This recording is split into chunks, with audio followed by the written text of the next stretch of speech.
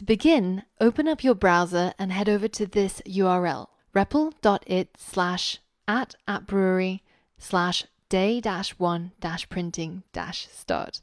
Now, if you didn't want to type all of that out and make some typos and errors and not get to the right place, then simply just head over to the course resources and click on the link there. It'll take you directly to this page. Now, once you've clicked on the link that takes you to the starting Replit, you should see something that looks like this. And the first thing I want you to do is to go ahead and click on the fork button. What this is going to do is it's going to create a version of that same Replit that you'll see me working through in the videos, but in this case, you'll be able to edit it. So if you want to save the work that you're doing, I recommend signing up to Replit. It's completely free, you don't need any credit cards or anything, and then you'll be able to see a record of all of the code that you've written throughout the course. In this course, you'll be coding along with me on Replit and completing a whole bunch of interactive coding exercises in our Replit classroom. Now, on day 15, when we level up to the intermediate stage, I'm going to be showing you how to install a local Python code editor. But until then, we want to get up and running and coding straight away. So we're going to be using Replit for the first 14 days. So pause this video now and create your free Replit account. And once you're signed in, then you can actually go ahead and edit the name of the Replit or add a brief description, and you'll be able to access it later on through the My REPLs folder. Now, once you've done that, then let's go ahead and walk through some of the different parts of Replit that you'll be using. First, on the left hand side pane here, you've got some files and you can see the current file that's open is this Python file here. And you can create new files or you can create new folders. And later on, we'll be using these features to organize our code.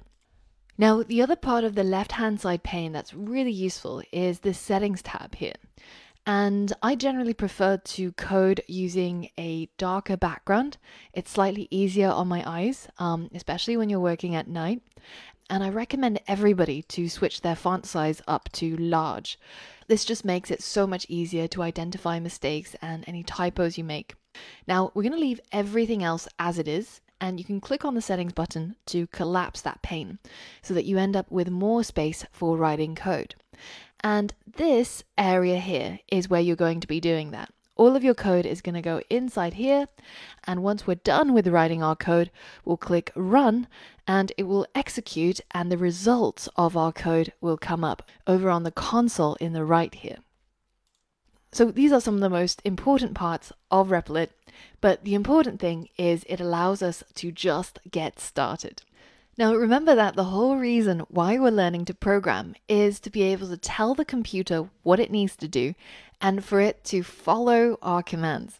So let's go ahead and tell the computer to do something. And we're going to do that by writing our first line of code. So in this case, I'm creating something called a print function, which is just the word print, all in lowercase, and then followed by a set of parentheses. Now, inside these parentheses, I'm going to tell it what I want it to print. And hopefully it's going to output that inside our console.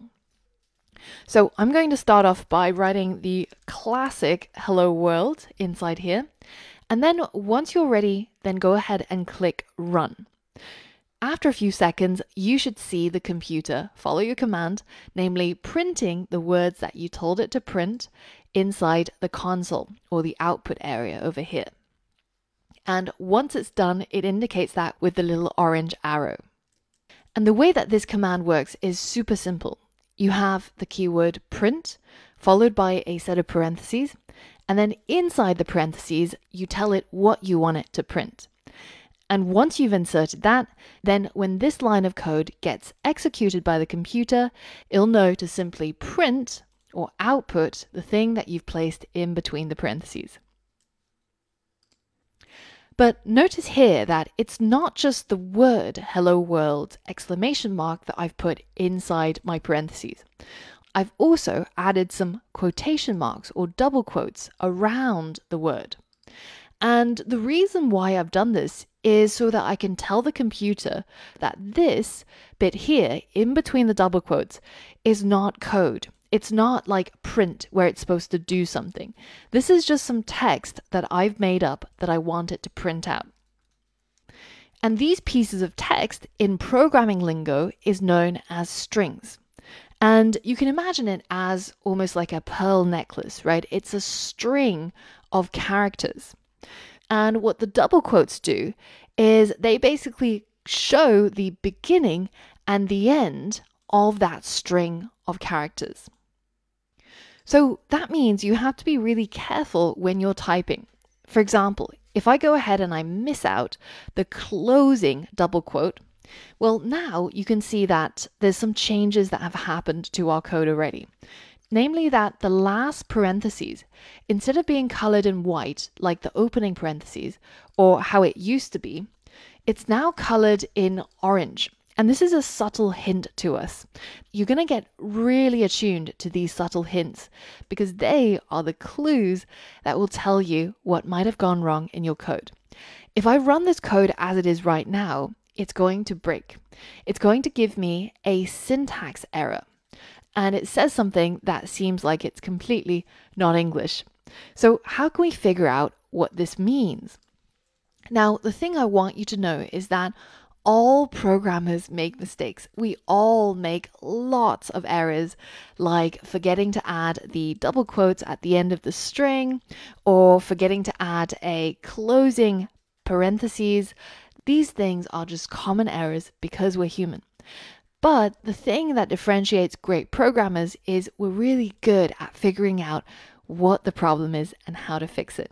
So you can imagine that coding is just a whole bunch of problems that you have to solve. And in this case, when we get some sort of red text on the right and our code is not doing what we expect it to do, then all we have to do is take this entire error message where it says something, something error, and this is some sort of message that we're supposed to understand. And we're simply going to drop it into Google. And usually the first link you come across will be from a website called stackoverflow.com.